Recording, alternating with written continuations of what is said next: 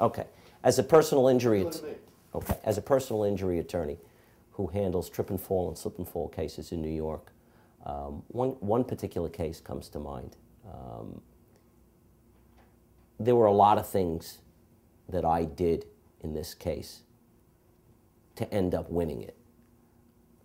The things that I thought were amazing may not amaze other people.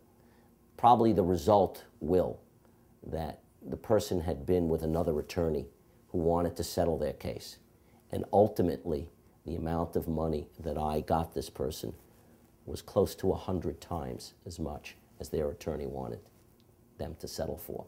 Literally, close to a hundred times as much. All that in, was involved was a claim by the landlord that this person hadn't fallen on broken stairs that day because the stairs had been repaired. And how did they know?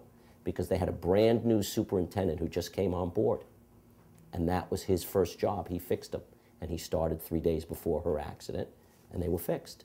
And he came in and he testified to that too.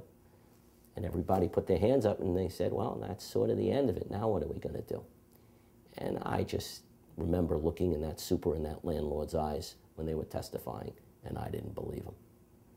So I went to the judge and I said, you know what, judge? I made it, it's called making a motion. I said, I want their payroll tax returns. Now, getting someone's tax returns is not easy. They don't give that out, and the judge didn't want to give it to us. I convinced the judge to do what they call an in-camera re- review. The judge saw the tax returns. And if the judge found something in there that proves what I say it'll prove, then I get him. I'm not telling the story for no reason. We got the payroll tax returns.